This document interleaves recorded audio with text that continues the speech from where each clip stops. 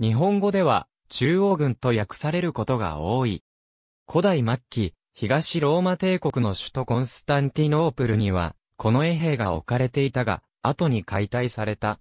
それに伴って8世紀の皇帝コンスタンティノス5世の時代に整備されたのが始まりとされている。タグマは選抜された職業軍人によって構成され、よく訓練された帝国最上の軍隊であった。活躍したのは8世紀末から帝国の軍事制度が崩れる11世紀半ばまでである。1071年のマンツィケルとの戦いで、タグマの兵士の多くが戦死し、タグマは壊滅した。タグマは9世紀には4つの軍団で構成されていた。人数は各軍団で1500人、合計6000人とする説と、各軍団に6000人ずついたという説がある。また、以下の他に、ヘタイレイア、キ、タウアルファイオタローイプシロンアルファと呼ばれる部隊や首都の海軍を含めてタグマと呼んでいたこともあった。アレッポを攻めるスコライ軍団962年。スキュリツェス年代記の挿絵よりこの他にヌメリと呼ばれる部隊があった。この部隊は当初は宮殿の警備が任務であったが、7世紀のヘラクレオスの時代に牢獄の警備に当たるようになり、9世紀にはドメスティーコスが指揮する不評部隊の名称になっている。またアモリアーサからマケドニア朝の時代にはスラブ人やトルコ系民族からなる部隊やバリャーグーと呼ばれるノルマン人などによる部隊が組織された。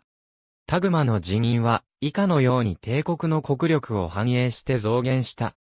直木慶太郎、ビザンツ帝国史、P456、直木、ビザンツ帝国史、P457 ヤンヒース、ビザンティン帝国の軍隊。P12 首都の海軍は、皇帝直属の長官に率いられていた。イアンヒース、ビザンティン帝国の軍隊。P12 各軍団の日本語文献での名称は、文献によってバラバラである。ここでは、井上光一、ビザンツ帝国 P128 及びヤンヒース、ビザンティン帝国の軍隊 P12 及び直樹、ビザンツ帝国史によった。直樹、ビザンツ帝国史、P457 上から7番目といっても、上位の4つは、皇族が持つ爵位であり、進化の爵位としては、マギストロス、アンテューパトスに次いで3番が目である。井上、ビザンツ帝国 P125、P128、直樹、ビザンツ帝国史、P457、井上、ビザンツ帝国 P128、直樹、ビザンツ帝国史、P458 ヤンヒース、ビザンティン帝国の軍隊 P14、井上、ビザンツ帝国 P129 同書では、宮廷護衛長官となっている。